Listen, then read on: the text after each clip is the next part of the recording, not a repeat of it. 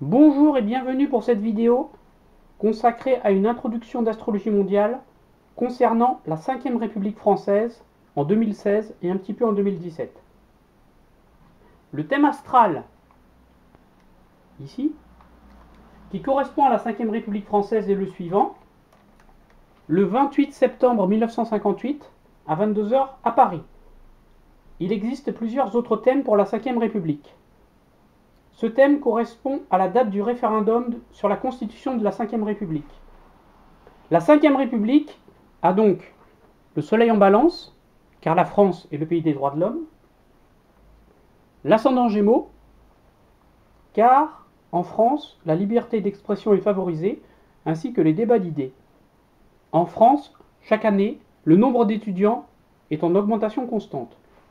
Et le Soleil est en maison 5, car la maison 5 et la maison des plaisirs et des vacances. En effet, la France est le pays le plus visité par des touristes étrangers. J'ai cherché à valider ce thème avec les sept présidents élus de la Ve République.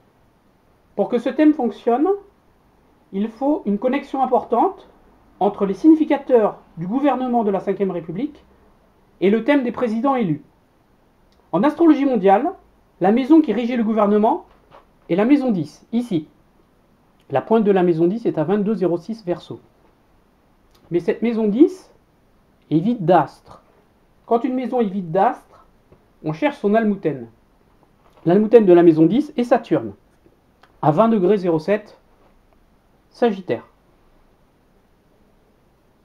Donc, les degrés astrologiques les plus importants pour le gouvernement de la 5 République sont le degré 22,06 Verseau et le degré 20,07 Sagittaire. On va vérifier cela avec le thème des sept présidents élus de la Ve République. Voici le tableau. Alors, les significateurs du gouvernement de, la Ve République sont ici, et ils sont en aspect avec les thèmes astro des sept présidents élus de la Ve République. On constate une chose, c'est que dans tous les cas, dans les sept cas, on a Saturne qui est en aspect avec un astre d'un président dans absolument tous les cas, sans aucune exception. Ce qui me fait dire que Saturne est le facteur déterminant au niveau du gouvernement de la Ve République. C'est ce point-là le plus important.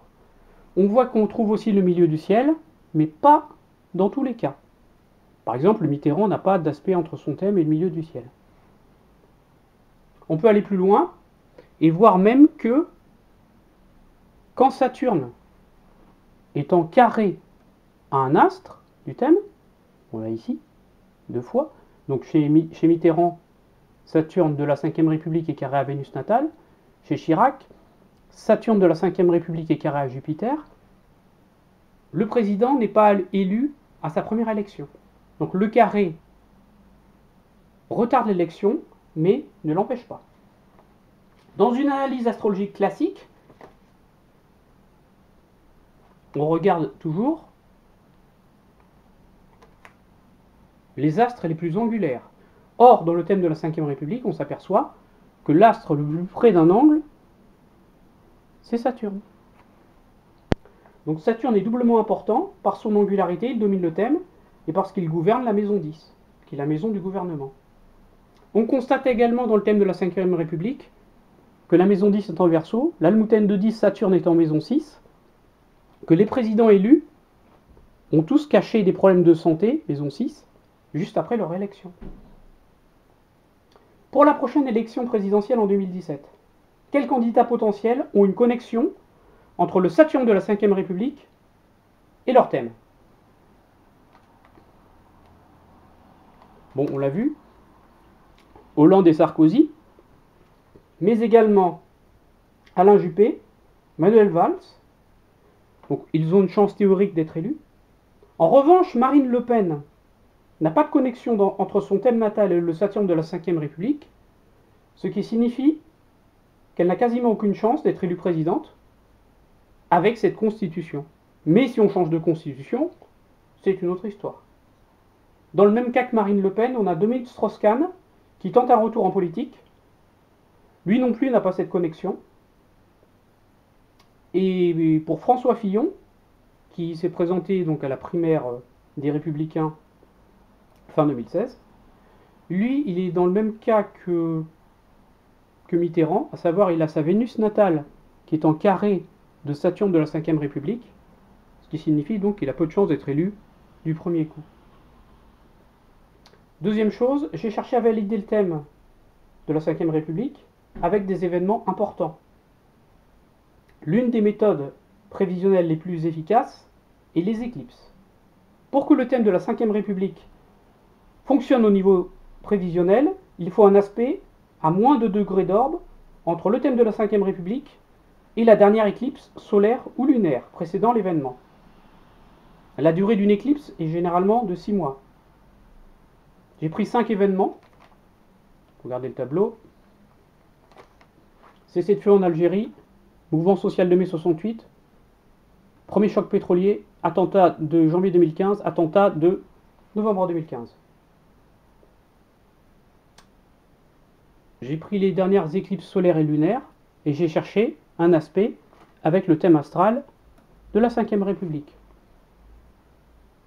On s'aperçoit que dans tous les cas, on n'a pas un, mais au moins deux aspects majeurs à moins de 2 degrés d'orbe entre la dernière éclipse solaire et lunaire et le thème de la Ve République. Ce qui montre bien que euh, le thème fonctionne au niveau des éclipses. Pour l'année 2016, aucune, aucune méthode prévisionnelle en astrologie ne fait du 100%. On va utiliser la méthode des éclipses, qui semble avoir fait ses preuves. A-t-on une éclipse solaire ou lunaire qui touche au moins deux facteurs, comme ici, du thème de la 5ème République? On va regarder ça. Euh, oui, euh, j'en ai trouvé une. C'est l'éclipse du 23 mars 2016 qui se produit à 3 degrés 17 balance, c'est-à-dire ici. Donc conjointe au Soleil et trigone à Mars. Pour anticiper ce qui, peut se produire en 2016, donc du 23 mars 2016 au 16 septembre 2016, car une éclipse est à peu près valable 6 mois, j'ai cherché les éclipses précédentes très proches. Ça donne le tableau suivant. Donc en 2016, on a l'éclipse du 23 mars 2016 qui est à 3,17 balance. Et j'ai trouvé 4 éclipses qui était vraiment très très proche, à moins de 1 demi-degré. Première éclipse, celle du 23 mars 1997. Cette éclipse a précédé. Alors, une éclipse donne toujours euh, un événement inattendu. Donc, l'éclipse de mars 97 a précédé la dissolution de l'Assemblée nationale par Jacques Chirac qui est un événement inattendu, et donc qui a fait perdre la majorité au président. Ensuite, l'éclipse qui est précédente, c'est celle du 24 mars 1978, toujours très près, hein, 3,40 balance. Cette éclipse ne donne pas le, jour exact du naufrage de la Moko Cadiz, un pétrolier qui a fait une marée noire euh, dans le Finistère. Mais le 24 mars 78, c'est le jour exact où le pétrolier est coupé en deux. C'est-à-dire que c'est ce jour-là que euh, la marée noire euh, va beaucoup beaucoup s'aggraver. Et c'est la pire marée noire jamais enregistrée en France. Et toujours une éclipse très proche de celle de 2016. 24 euh, mars 1959, c'est le discours d'autodétermination de l'Algérie de 1959. Le discours a lieu le 16 septembre 1959, soit le dernier jour de validité de l'éclipse. Donc on a un discours du général de Gaulle sur l'autodétermination de l'Algérie. Il s'agit du premier pas définitif vers l'indépendance, car en 1959, il y avait un Européen de souche en Algérie pour 10 musulmans. Donc qui dit autodétermination, bah, dit indépendance. Pour l'année 2016, comme on a une éclipse qui se produit au, même degré, vraiment à moins de 1,5 degré que de ces trois événements, on risque d'avoir un événement proche. Donc, comment cela peut se traduire concrètement? Donc, comme en 97, le président Hollande peut prendre une décision qui euh, affaiblit terriblement son gouvernement, donc on risque un remaniement ministériel au minimum, voire un changement de Premier ministre, peut-être une dissolution, mais c'est quand même peu probable. On a un risque de pollution comme en 1978, important, et comme en 1959, on, la France peut être affaiblie outre-mer ou à l'étranger.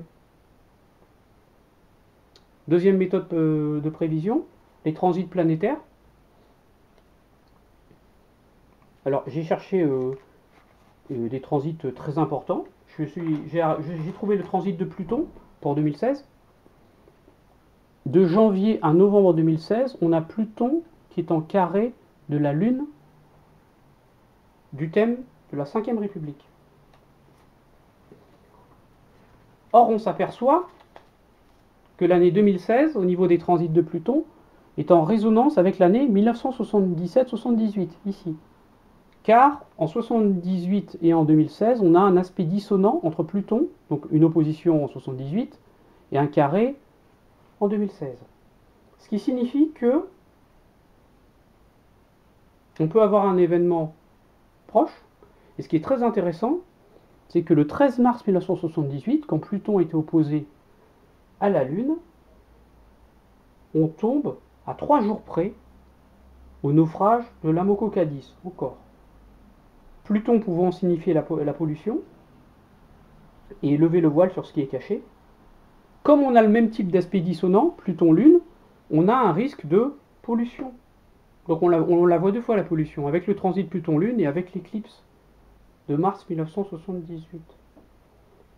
Donc on a un risque élevé de pollution. J'ai bien dit un risque, hein, ce n'est pas une certitude absolue. Positivement, car euh, tout transit a un côté positif, comme dans le thème de la Ve République, Pluton fera un carré à la Lune, donc il sera ici, à 15 degrés 57, il fera un carré. Comme, la Lune gouverne la maison 2 dans la Ve République, la maison 2 ce sont les richesses, le transit Pluton-Lune est un moment favorable pour transformer les richesses de la nation, avoir des idées novatrices, porteuses d'espoir, car la Lune est en maison 11. Par exemple, avec le développement des, énergies renouvelables et l'abandon progressif du nucléaire. Ensuite, euh, transit de Saturne en Sagittaire. Alors pourquoi s'intéresser au transit de Saturne? Parce qu'on l'a vu, le transit de Saturne est très important pour la Ve République. Je simplifie. Actuellement, Saturne est en Sagittaire, de décembre 2014 à décembre 2017. Donc on regarde les anciens transits pour voir qu'est-ce qui s'est passé. Donc on a eu le transit de Saturne en Sagittaire de novembre 85 à février 88. Or on s'aperçoit encore que lors du dernier passage de Saturne en Sagittaire, donc Saturne est en Sagittaire aujourd'hui, on a eu le naufrage, euh, excusez-moi, le nuage de Tchernobyl qui est passé au-dessus de la France. Donc, ça ne signifie pas qu'on va avoir un accident nucléaire, mais on a un risque de pollution. Et au minimum, on risque d'avoir des fuites venant de la centrale de Fukushima au Japon qui continue de fuir, et des retombées en France. Le Sagittaire est le signe par nature lié à l'étranger. Saturne montre de la rigidité. Dans le thème de la 5ème République, Saturne est maître des maisons 8, la mort dans des cas extrêmes, et 9, l'étranger. Saturne maître de 9 et de 8 en 6. Or, force est de constater que en 86, c'est une année où il y a eu beaucoup d'attentats en France, des attentats liés à l'étranger. En 2015, on a eu des attentats. Et pour le transit encore précédent, donc année 56-59, euh, euh, les années 58-59 sont marquées par les attentats en Algérie. Or, en 1958, l'Algérie, c'est la France.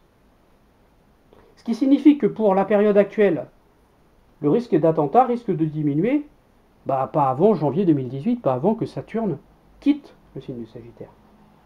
On peut également voir ressurgir des affaires suspectes ayant eu lieu pendant la période de fin 85 à début 88, comme par exemple le chanteur euh, Daniel Balavoine est officiellement décédé en janvier 1986 pendant le rallye Paris-Dakar d'un simple accident d'hélicoptère. En janvier 86, donc on avait comme aujourd'hui Saturne en Sagittaire. Daniel Balavoine installait des pompes euh, à eau en Afrique.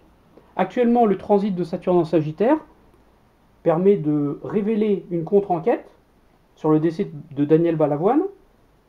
Et on commence par s'apercevoir que Daniel Balavoine aurait été tué, je dis bien aurait été car ce n'est pas certain, car il aurait découvert que le Paris-Dakar était donc qui est un rallye, que certaines personnes profitaient du Paris-Dakar pour faire un trafic d'armes. Pour ça qu'on l'a tué. dans, la même euh, veine, on risque de reparler de la mort de Coluche, mystérieusement décédé en 1986. Positivement, le transit de Saturne en Sagittaire en maison 6, dans le thème de la 5ème République, favorise les initiatives pour aider les plus démunis, maison 6, de manière durable, Saturne. Les Restos du Cœur sont nés en décembre 1985 avec Saturne en Sagittaire, l'association des livres des repas aux plus démunis. Les transits de Saturne en Sagittaire peuvent favoriser des initiatives en faveur des plus démunis pour avoir une société plus juste. Je simplifie, hein, ce n'était qu'une introduction. Et aucune méthode prévisionnelle ne fait du 100%. Merci beaucoup de votre attention. À bientôt et au revoir.